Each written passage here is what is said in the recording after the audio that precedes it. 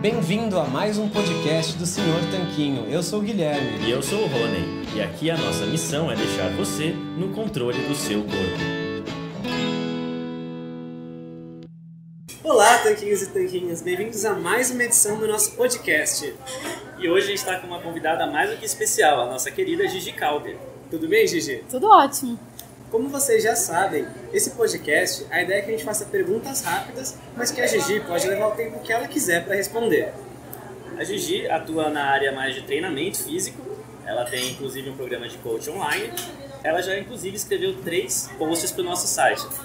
E Gigi, o que mais você pode contar sobre você para se apresentar para o pessoal?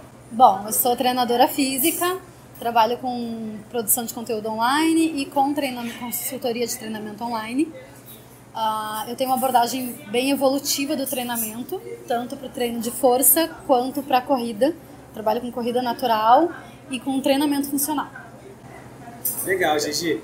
E é eu queria saber como que você começou a se interessar por esse tópico de tanto do treinamento de força e tanto do se interessar por atividade física, quanto como que você migrou para essa abordagem mais funcional e evolutiva. Tá, a gente vai voltar alguns anos, que eu não vou falar quantos, para não né, falar a idade. Mas eu entrei na faculdade de educação física querendo ser professora de escola. Aí eu vi que não era minha vocação e fui para a área de academia. E trabalhei com ginástica localizada e tal, e musculação, musculação bem de máquinas, bem tradicional. E aos pouquinhos fui estudando mais, comecei a gostar mais de, de treinos um pouco mais livres, né? Treinar mais agachamento do que cadeira extensora, por exemplo. E aí, há cinco anos atrás, eu descobri a dieta palio. Então, comecei a fazer a dieta, que une todos nós. e a dieta palio, ela te traz um outro estilo de vida, porque tu começa a entender o mundo inteiro sendo mais natural, mais industrializado. Daí, isso começou a influenciar meu trabalho. Eu comecei a estudar mais treinamento funcional e, e evolução do movimento humano. Ah, legal, Gigi. E na dieta palha, depois que você mudou isso, como que isso afetou é, a sua mentalidade treino? O que, que você encontra hoje em dia que é muito prescrito, muito praticado por aí, que não está alinhado com esses princípios? Quase toda a área do fitness ela é tão industrializada quanto a comida. A gente tem uma indústria do fitness bem poderosa, inclusive, que gera, sei lá, bilhões de dólares, não sei quanto, mas que gera muito dinheiro. E isso causa na assim, no ambiente de, de treinamento físico, a mesma coisa que a indústria causa na comida. A gente passa a acreditar que a gente precisa de mais máquinas para a gente conseguir se movimentar. Isso, na verdade, não faz sentido nenhum. A gente, nosso corpo é nossa máquina. Então, eu comecei a me dar conta disso e a estudar mais evolução para entender como que a gente evoluiu e como que a gente tem mais saúde a partir disso. E Gigi, você, tanto nas suas consultorias online quanto no seu Instagram, ou em qualquer lugar, qual é a dúvida que você mais vê? Qual é a dúvida que você acha que é mais comum para o pessoal nessa área de treinamento físico, seja uhum. começando para quem já é avançado? Acho, eu diria que tem três. Uma eu não consigo responder tão bem, que é o que, o, qual exercício melhor para emagrecer. né? Porque a gente sabe que é a maior influência da dieta. Então, infelizmente, eu gostaria muito que fosse o exercício, não a dieta mas eu não consigo responder. A outra é como começar. E como começar, eu diria que é comece por qualquer coisa. Qualquer tipo de aula, de movimento, de atividade física que tu goste. Não importa se é o que tu precisa nesse momento. Mas iniciar é o mais importante, né? Dar o primeiro passo. Então, ah, eu gosto de fazer hidroginástica. Se é a única coisa que tu gosta agora, começa com a hidro para criar o hábito do treinamento e aí depois a gente vai adicionando outras né, atividades mais importantes. Uh, mas comece. A, a, outra é que o que fazer para não se lesionar, que é a preocupação de muitas pessoas. E eu sempre falo que a gente se lesiona mais sendo sedentário do que treinando. Ah, pode, pode lesionar quando, quando treinar? Pode. Mas a gente é, tem muito menos saúde sendo sedentário. Então, fazendo exercícios é, com um volume um pouco mais controlado, com uma orientação legal, mesmo que seja a sua própria orientação, não, não necessariamente de educador físico, mas que a gente aprenda a executar corretamente, já diminui bastante o risco de lesão.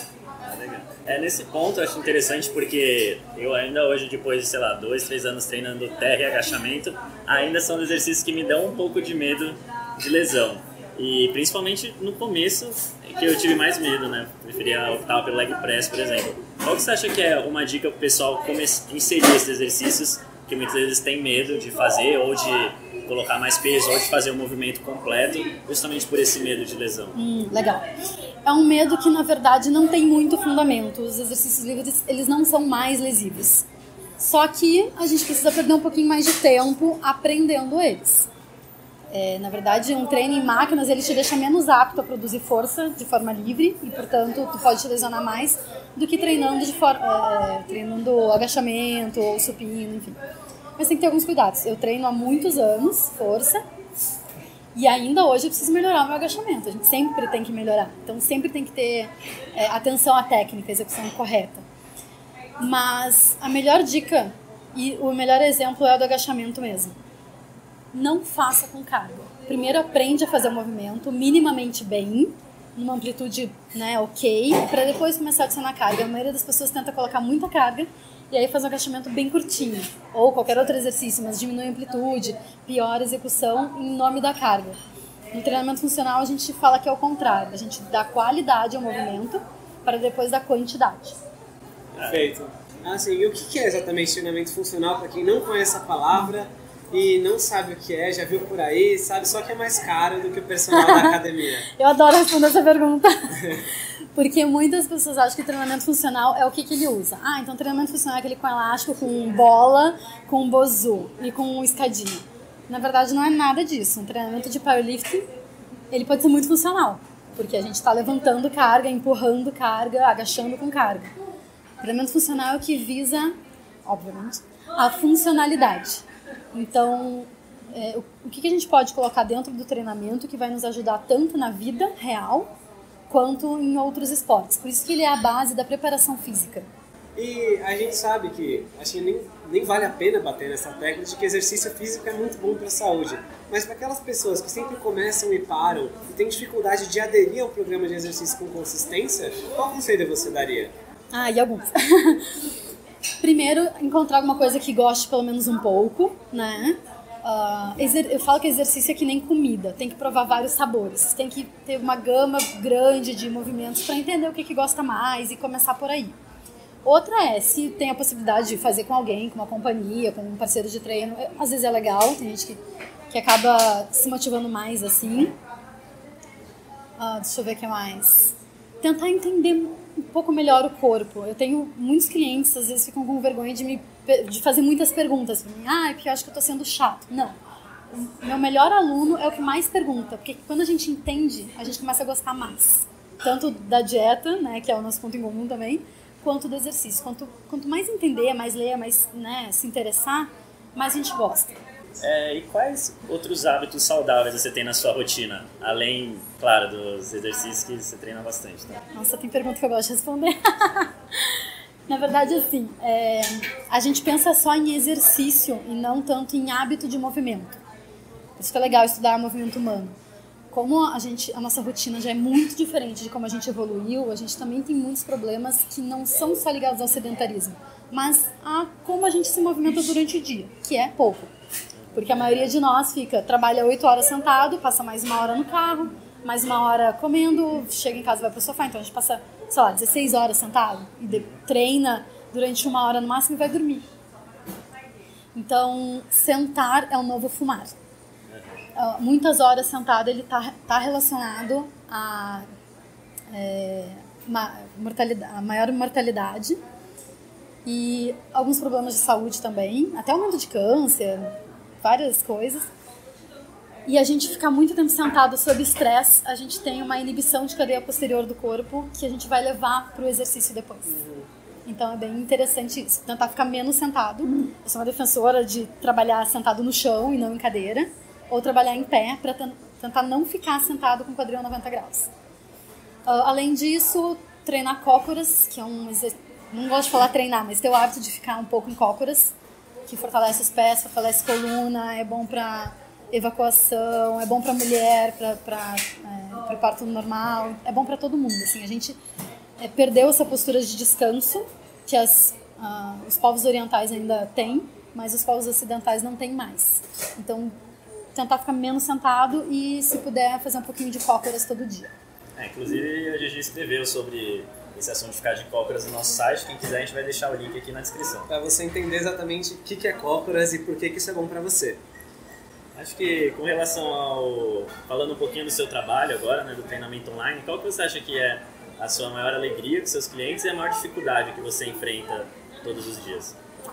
A minha maior alegria continua sendo a mesma desde quando eu comecei a trabalhar, que é assim, a minha missão é tornar a vida das pessoas mais saudável através do treinamento físico, mas quando eu pego algum aluno que não gosta de treinar e daí começa a treinar comigo e depois de uns meses ele fala Gigi, hoje em dia eu adoro treinar. Nossa, para mim é a maior felicidade do mundo.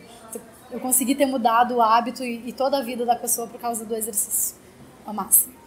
Como que funciona esse treinamento online? Eu acho que muita gente que está ouvindo a gente agora não sabe como que é um, como que funciona você ensinar a pessoa a se mover à distância. Então eu queria que você falasse também um pouco de como que é esse passo a passo, de como é a rotina dentro desse treinamento. Tá, perfeito. A maioria não sabe mesmo. É, a gente faz uma anamnese, que é um questionário de saúde. Eu faço alguns testes de vídeo para enxergar a pessoa. Tiro, a gente tira foto. Eu conheço o espaço que ela vai treinar tanto na corrida quanto no treinamento de força, porque eu tenho alunos que treinam em academias muito completas, academias que não tem muitas coisas, alunos que treinam em casa. Então, dependendo de cada ambiente, eu vou conseguir montar um treino diferente, né? E com os objetivos do cliente. Aí eu monto o planejamento e o treino, envio a planilha de treino para a pessoa com os exercícios, tudo explicadinho o que é para fazer e com o vídeo de cada exercício, com a execução correta. Essa pessoa vai treinar e lá pelo, geralmente eu peço pelo terceiro treino para ela já estar tá habituada ao, ao, movimento, ela filmar ela fazendo e me mandar para eu poder fazer as correções. Uh, parece estranho no começo, mas funciona muito bem. Não funciona tão bem para quem acaba precisando ter alguém do lado para contar e funciona muito para quem gosta de treinar em casa e para quem viaja bastante e não precisa ter alguém contando as suas repetições do seu lado. É, acho que a gente falou em vários pontos interessantes aqui, inclusive sobre a questão de ficar sentado várias horas, onde as pessoas não terem o costume de se exercitar. O que você acha que falta na sociedade para eles perceberem a importância de você mover o corpo, a importância do corpo que todo mundo tem dele se movimentar?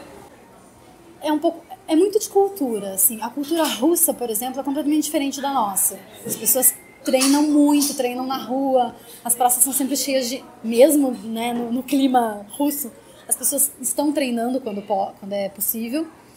E aqui a gente tem uma cultura ainda mais é, sedentária. Acho que o Ocidente tem uma cultura mais sedentária, né? Então, um pouco de cultura, um pouco de educação, porque a gente manda as crianças ficarem quietas e a gente manda os adultos se movimentarem. A gente não respeita a natureza da criança que é se movimentar, né? ok, a gente adulto não vai se movimentar tanto, mas a gente poda muito isso. É, eu acho que é mais isso, assim, porque todo mundo sabe que é importante, mas pouca gente faz, é, é mais cultural mesmo.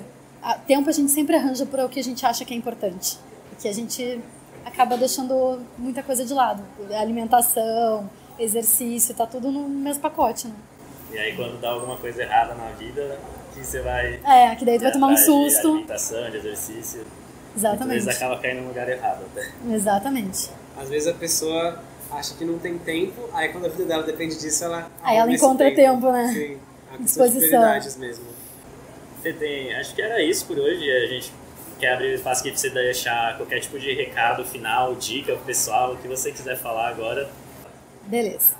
Uh, o que eu gosto muito de falar é que eu sou educadora física, sou apaixonada pelo que eu faço mas o treinador ele é um facilitador da performance. Então, quer treinar melhor, com mais orientação, com mais segurança, busca um treinador. Mas não deixa de se movimentar e de treinar porque não tem ninguém para te orientar. Faz alguma coisa. Aos pouquinhos tu vai aprendendo ou tu vai é, cons consultar alguém que entende mais do que tu. Né? Mas não, não seja sedentário só porque tu não pode ir para uma academia. Se movimente. Acho que é isso que eu gosto de deixar de mensagem.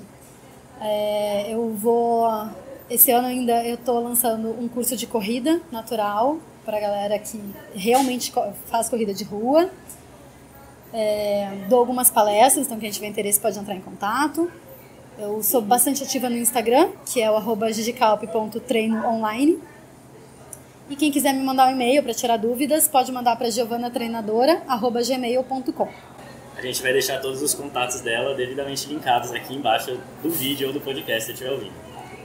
Bom, acho que era isso. A gente respondeu, a gente respondeu de maneira super objetiva as perguntas e acho que já deu para dar uma pulga atrás da orelha de quem não se movimenta ou de quem não sabe o que é se movimentar, né? De quem tem aquela mentalidade às vezes um pouco voltada demais para dieta e exercício e não tanto para comer e treinar, tanto de você se mover e você se você se alimentar da maneira que seu corpo pede, que ele necessitou, que ele evoluiu comendo e treinando, se movendo.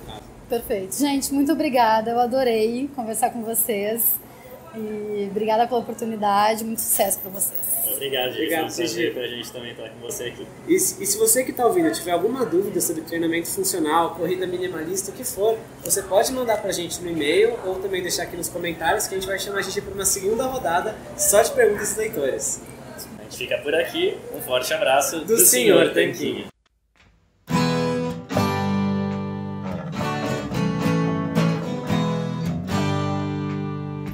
Você acabou de ouvir mais um episódio do podcast do Senhor Tanquinho.